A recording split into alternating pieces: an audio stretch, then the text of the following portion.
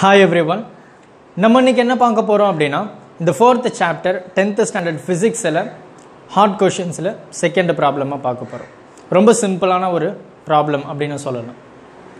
How many electrons are passing per second in a circuit in which there is a current of 5 ampere? ரொம்ப சிம்பிளான ஒரு question ஒரு circuit இருக்குது அந்த சர்க்கியூட்டில் வந்து ஃபைவ் ஆம்பியர் கரண்ட் வந்து பாஸ் ஆகுது. அப்போது அந்த இடத்துல ஒரு ஒரு செகண்டுக்கும் ஹவு மெனி எலக்ட்ரான்ஸ் எவ்வளோ எலக்ட்ரான்ஸ் வந்து கிராஸ் ஆகுது அதில் ஃப்ளோ ஆகுது அப்படின்னு சொல்லிட்டு கேட்குறாங்க ரொம்ப சிம்பிளான ஒரு ஃபார்முலா நமக்கு தெரிஞ்ச ஒரு ஜென்ரல் ஃபார்முலா தான். Current right so current I which is equal to Q by T அப்படின்றது உங்களுக்கே தெரியும். ஸோ கியூ அப்படின்றது வந்து சார்ஜ் இல்லையா? ஸோ சார்ஜ் ஐ அப்படின்றது வந்து கரண்ட்டு டி அப்படின்றது வந்து டைம் ஸோ நமக்கு வந்து how many electrons are passing அப்படின்னு கேட்குறாங்க ஸோ இப்போ கரண்ட் அப்படின்றது வந்து நமக்கு கொஷின்லேயே கொடுத்தாச்சு ஃபைவ் இல்லையா? So which is equal to அந்த கியூ பை டி இந்த டைம் வந்து நம்ம ஒரு செகண்ட் எடுத்தோம் அப்படின்னா அப்போ அந்த charge right so Q which is equal to அந்த five into one which is equal to Q கரெக்டாக அதாவது ஃபைவ் சி சி அப்படின்றது வந்து கூலும் அப்படின்னு சொல்லுவோம். அதாவது சார்ஜினுடைய யூனிட் அதாவது கியூ அப்படின்றது சார்ஜு சி அப்படின்றது அந்த சார்ஜோடைய யூனிட் கூலும் அப்போ ஃபைவ் அப்போ சார்ஜ் எவ்வளோ இருக்கும் அப்படின்னா ஃபைவ் ஆம்பியருக்கு ஃபைவ் கூலும் ஆஃப் சார்ஜஸ் வந்து இருக்குது அப்படின்னு சொல்கிறாங்க எனக்கு புரியல சார் இன்னமும் எனக்கு கொஞ்சம் பேசிக்லேருந்து ஸ்டார்ட் பண்ண எனக்கு சரியாக புரியல அப்படின்னா நான் இன்னொரு மெத்தடில் சொல்கிறேன் இது உங்களுக்கு ரொம்ப ஈஸியாக புரியும் அப்படின்னு நான் நம்புகிறேன் ரொம்ப சிம்பிள் என்ன அப்படின்னா ஒரு ஆம்பேர்னு நம்ம என்ன சொல்லுவோம் அப்படின்னா இந்த ஒரு ஆம்பேரில் ஒரு செகண்டுக்கு ஒரு கூலும் ஆஃப் சார்ஜ் வந்து ட்ராவல் ஆகும். அதாவது ஒன் ஆம்பேர் அப்படின்னா ஒரு செகண்டுக்கு ஒரு கூலும் ஆஃப் சார்ஜ் ட்ராவல் ஆச்சு அப்படின்னா அதுதான் நம்ம ஒன் ஆம்பேர் அப்படின்னு சொல்லுவோம். நமக்கு கொஷினில் என்ன கொடுத்துருக்கு அப்படின்னா ஃபைவ் ஆம்பியர் அப்போது ஃபைவ் ஆம்பியர் அப்படின்னா ஒரு செகண்டுக்கு ஃபைவ் கூலும் ஆஃப் சார்ஜஸ் வந்து ட்ராவல் ஆகும். இதுதான் இதோடைய அர்த்தம். அப்போ நீங்கள் பார்த்தீங்க அப்படின்னா ஃபைவ் ஆம்பியருக்கு ஃபைவ் கூலும் ஆஃப் சார்ஜஸ் வந்து கிராஸ் ஆகுது. வந்துருச்சா? ஸோ அப்போ ஃபைவ் கூலும் ஆஃப் சார்ஜஸ் நம்ம இப்படி எழுதலாம் இப்படியும் எழுதலாம்.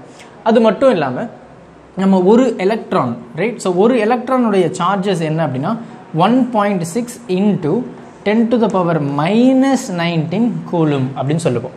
ஒரு எலக்ட்ரானுடைய சார்ஜஸ் ரைட் ஸோ இப்போ ஒரு எலக்ட்ரானுக்கு அதோட சார்ஜ் எப்படி இருக்கும் அப்படின்னா one point six into ten to the power minus nineteen C அதாவது கூலும் சி அப்படின்றது கூலும் சார்ஜ் ஓகேவா ஸோ யூனிட் அது. அப்போ ஒரு எலக்ட்ரான் அப்படின்னா இவ்வளோ சார்ஜஸ் வந்து எனக்கு இருக்குது அப்படின்னா அப்போ ஒரு கூலும் அப்படின்னா என்னவா மாறும் அப்படின்னா இது இருக்குது இல்லையா?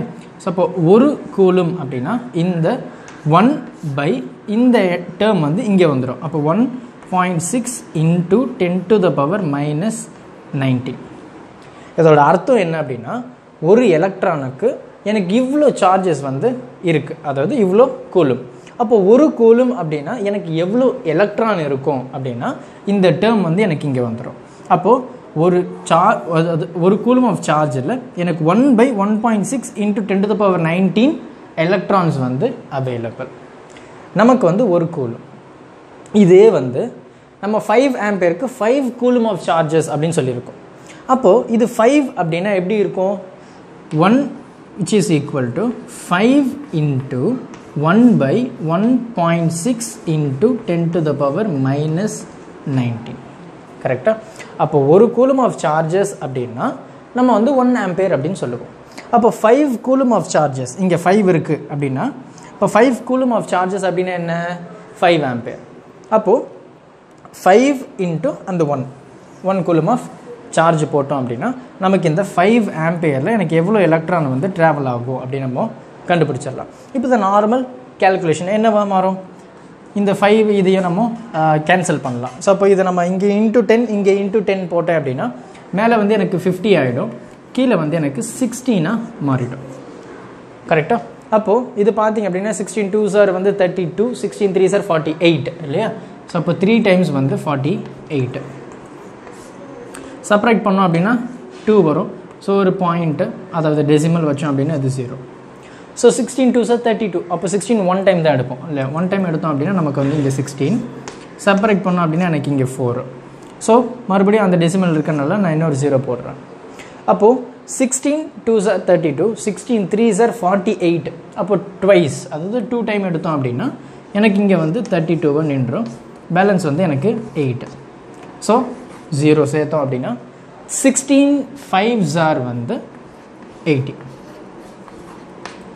அப்போது எனக்கு ஃபைவ் ஆம்பேரில் எனக்கு எவ்வளோ சார்ஜஸ் இருக்கும் அப்படின்னா three point one into sorry three point one two five by ten to the power minus nineteen அப்போ இது மேலே போச்சு அப்படின்னா three point one two five into ten to the power plus nineteen இவ்வளோ எலக்ட்ரான் வந்து எனக்கு ட்ராவல் ஆகும். எவ்வளோ? ஃபைவ் ஆம்பேயரில் எனக்கு ஒரு ஒரு செகண்டுக்கும் ஒரு ஒரு செகண்டுக்கும் எனக்கு இவ்வளோ எலக்ட்ரான் வந்து எனக்கு ட்ராவல் ஆகும். அதாவது பார்த்தோம் அப்படின்னா நிறைய நம்பர்ஸ் இல்லையா? ஸோ இப்போ இது into ten to the power nineteen அப்போ இது நம்ம ஒரு மூணு டெசிமல் எடுத்தோம் அப்படின்னா three one two five into ten to the power sixteen இவ்வளோ எலக்ட்ரான் அப்போ இந்த த்ரீ ஒன் டூ ஃபைவ்க்கு கூட ஒரு பதினாறு ஜீரோ போட்டோம் அப்படின்னா அவ்வளோ எலக்ட்ரான் அப்போ ஒரு ஒரு செகண்டுக்கும் அவ்வளோ எலக்ட்ரான் வந்து நமக்கு அந்த சர்க்கியூட்டில் வந்து கிராஸ் ஆகும். ரொம்ப சிம்பிளான ஒரு எக்ஸாம் ப்ராப்ளம் ஸோ பொறுமையாக பாருங்கள் ஸோ இது ஐ அப்படிங்கிறது Q by T so Q அப்படின்றது சார்ஜ் டைமு ஸோ இது இங்கே போச்சு அப்படின்னா எனக்கு Q equal to five C அதாவது five coulomb of charges so இன்னமும் நம்ம வேறு மாதிரி சொல்லணும் அப்படின்னா ஒரு ஆம்பேர் அப்படின்னா நம்ம என்ன சொல்லுவோம் அப்படின்னா ஒரு செகண்டுக்கு ஒரு கூலம் ஆஃப் சார்ஜ் அப்போ ஃபைவ் ஆம்பேர் அப்படின்னா ஒரு செகண்டுக்கு ஃபைவ் கூலம் ஆஃப் சார்ஜ் அப்போ ஒரு த்ரீ ஆம்பேர் எடுத்தோம் அப்படின்னா எனக்கு வந்து ஒரு செகண்டுக்கு த்ரீ கூலும் ஆஃப் சார்ஜஸ் தான் நம்ம த்ரீ ஆம்பேர் அப்படின்னு சொல்லுவோம்.